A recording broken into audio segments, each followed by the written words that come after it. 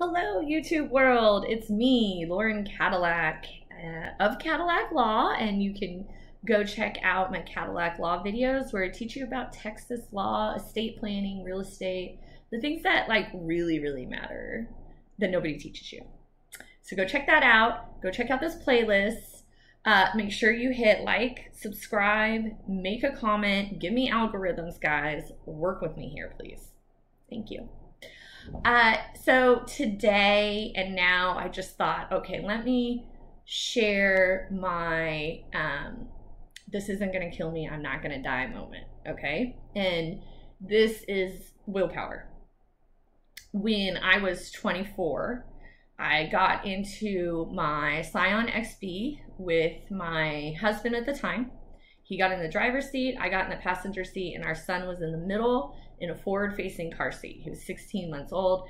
And at that time, it was like 04, so he was totally allowed to sit forward facing. I guess nowadays they have to sit backwards until they're like 30. Poor kids.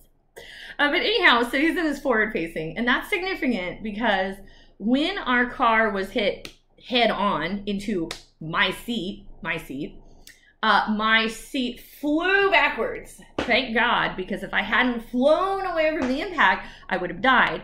Um, but that flying backwards cut my son's leg, and the impact itself uh, gave him a little break in his arm. Just he had little 16 month old bones. So, um, all I remember about that incident, I remember cleaning the house that day was a Sunday. I remember I had a new haircut because I'd gone to see a friend and she worked at the salon and it wasn't a good haircut, but whatever. Um, and I cleaned the house. I took a few pictures with my son and then we got in, ready and got in the car to go see grandma who lived, I don't know, like five miles, 10 miles north of us on I 35. At the time, they had two way, two way feeders on the. This is like the dumbest. I'm gonna make a sexist joke. What man thought of a two way feeder? Whatever. The same one that invented maxi pads, I assume. okay, so uh, so my car gets hit head on. I almost die. The boy has a broken leg and arm. The ex, nothing really happened to him. Um, I'm in the ICU. I guess I was like in a coma. I didn't even know. Like I just found that out two years ago. Nobody told me what happened with this accident. Like I'm just in a bed and my fingers are the size of bratwurst. And look, I have skinny fingers, so these were like the size of bratwurst. And I'm just like, whatever. I don't know what's going on. So all I remember, okay, said hi to the neighbor, got in the car, drove off, and then the next thing I remember is thinking this is not going to kill me. I am not going to die. This is not going to kill me. I am not going to die. And saying that over and over in my head. I believe now, kind of knowing the facts and everything, that um, while they were using the jaws of life to break open my car to, to pull me out and then helicopter me to the hospital, I was aware um, I have no recollection. Thank you, Lord. Thank God we don't remember pain. Um, but I, I think I was aware. And my son, I mentioned, was 16 months old, and I, I wanted that baby so bad. Okay, like I had to sell my ex on having this child. Like, we need a baby. It's so beautiful. Blah blah blah blah blah. And I did. I sold his ass. And so I love like my son. I still he's 15 and a half. He's a little shit but I love him. I love my daughter too. So, and he's 16 months old. I'm 24 years old. I am not going to die. I did not carry this little fucker in my womb for 10 months just to have some car hit me and make it so I can't see my baby live. That's willpower, guys. I mean, it's just straight up. I'm not gonna die this is not going to kill me. And I just kept repeating it so much so that it's all I remember.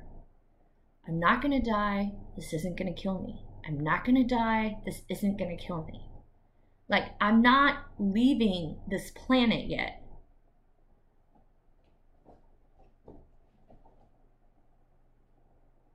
Oh, that's just me, not dead, fully alive.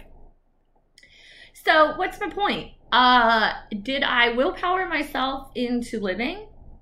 I think so. Actually, I think in those moments I had a choice. And and that choice was let go or hang on. And I did not want to let go. I was not ready. So I decided to hang on. And I made a choice that this is not going to kill me. I'm not going to die. I'm going to see my son grow up. And uh, that's what's happened. So when you want something, when you have a desire for something, when you are, uh, you know, you, you see a house of someone rich and famous on TV and you oh, I want that. You can get it. Like, you can manifest it. Now, you're to have to work hard. I had to work hard to live. I had blood transplants, plasma, all this stuff. Like, I had to work to live and then I had to work to learn how to walk again and I had to work to learn how to function again and then I went to law school like a crazy person and I had to work at law school so you have to work. There's no way of getting out of putting in the effort. But what I'm saying is if you set the goal and you say it I'm I'm going to have the house like this or I'm going to my latest thing is by the time I turn 40 I'm going to be a millionaire. And I say it and I work for it. I'm doing it. I'm getting there. I'm doing what it takes to get there. I mean, you can't just say I'm going to be a millionaire and then just like kick back and watch Netflix. You know, you you you got to work for it. So tell the universe or God or whatever you believe in, this is what I want. And then set yourself out on that path. You know, when I said I'm not going to die, this is not going to kill me I set myself off on a path of like learning how to walk again and doing all this extra work that most people didn't have to do in their lifetime. But it was worth it to me because I get to see my son grow up. And like I said, he's kind of a turd, but oh, I love him and I lo- I got a daughter later. You know, like I got a daughter and I became a lawyer and I can go into a courtroom and make objections like they do on TV. I mean, come on. That's fantastic. But all of that was because I chose to do it. I I said this is what I want to do and then I set out and I did it. That's my advice for you today. Is it advice? I don't know. I like talking though. So also I think I'm hilarious. Like I watch some of my videos and I'm like, ah, great joke, Lauren. Great. Like, subscribe. It's free. It helps me. You can ignore me like after that. Just but please do it for me. Have a good one.